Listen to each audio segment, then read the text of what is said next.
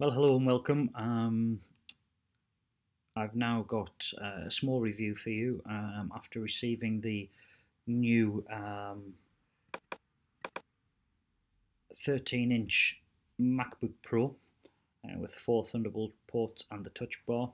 Everybody's been doing a lot of um, video comparisons using the 15-inch that obviously has the built-in um, discrete GPU where I'm now going to use it with the actual built-in graphics using the Intel Iris 550. Um, basically what I'm going to do is compare the rendering of 4K in both Adobe Premiere and in Apple's Final Cut Pro.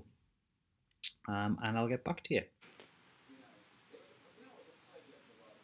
So what I've done here is I've opened Final Cut Pro and inside Final Cut Pro I've changed the preferences so that the background render is off so it's not starting any render. Um, dropped a 4K file straight in. As you can see it's 4K, 30 frames a second and see we can scrub through, start wherever we want, no dropped frames, playback, switch quite easy between everything and it all works really well. So what I'm going to do now is I'm going to drop a colour. Um, I'm going to drop a colour correction on top and then go into the colour board and boost the global saturation by 20%. And then I'm going to render this out. So what I'm going to do is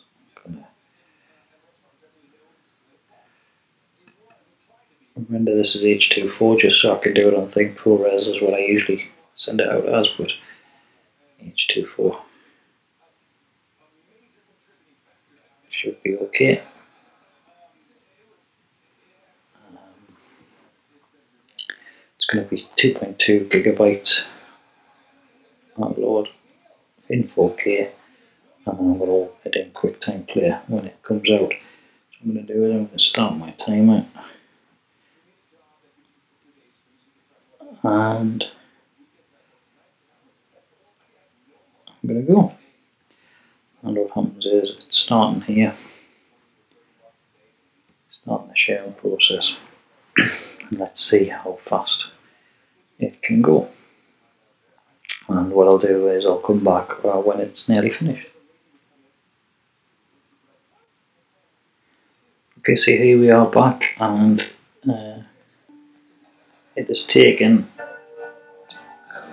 um, a grand total of 5 minutes 28 sorry 5 minutes 28 seconds um, to process this.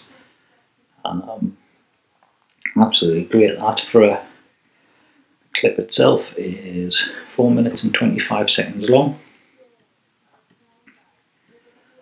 Um, all in 4K so that's not too bad at all. Um, now we'll move on to Premiere. So here we are in Premiere, uh, Premiere Pro CC 2017 I think it is classed as. Um, Premiere 2017 and all we're going to do is we're going to import the same media file.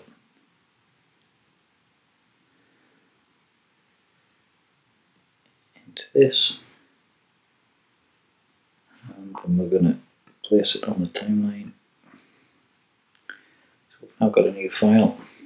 And what we're going to do is actually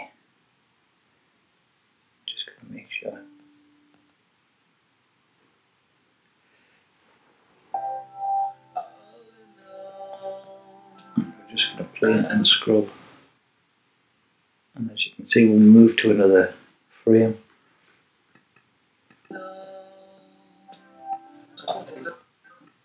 And play. There's a little delay, but not too much.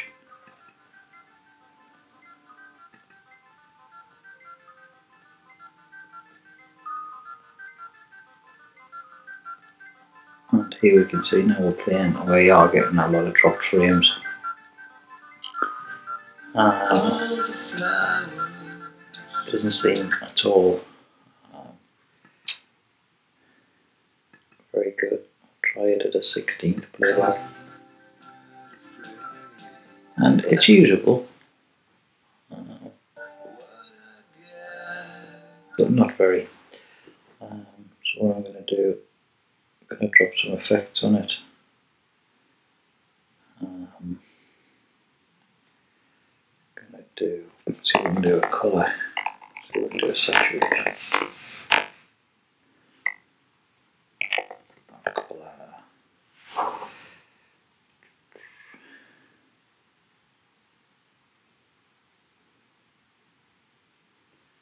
See if we can drop a colour balance on.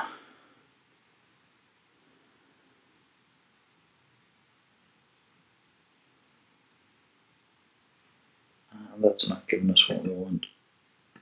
So get rid of that. Don't think I can get rid of the colour balance. It's got nothing on it. Let's see if we can do a saturation.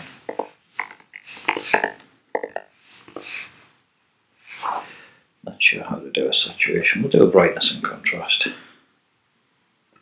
I'll drop the brightness on. We'll increase the brightness by a little bit and then we'll output this.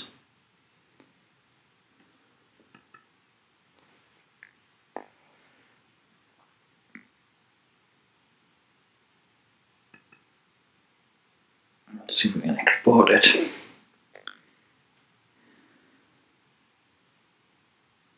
So I'll try and export the video.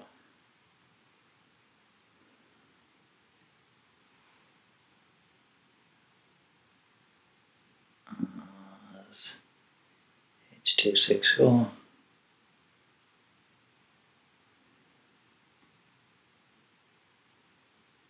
Preset, and we've got a 4K. Got a YouTube 4K. That should be okay. Um, slightly bigger than 4K actually. Will get the camera. Sorry, we'll get the um. we'll five minutes twenty-two was for. And we will export this and see how long it takes. And we'll give you a shout when we come back. I hope that's not a sign of things to come.